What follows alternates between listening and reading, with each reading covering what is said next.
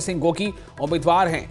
असंध से शमशेर सिंह गोगी उम्मीदवार हैं। सैलजा के करीबी माने जाते हैं। शमशेर सिंह बरवाला के नाम निवास घोड़ेला, जो शमशेर सिंह हैं। उसके अलावा बरवाला से राम निवास घोड़ेला, बरवाला से राम निवास घोड़ेला उम्मीदवार हैं, जो हुड्डा के करीबी माने जाते हैं।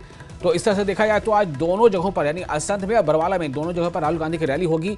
और इससे कहीं कहीं दोनों खेमा, जो एक हुड्डा खेमा है, हुड्डा कैंप है और सैलजा कैंप है, उन दोनों खेमों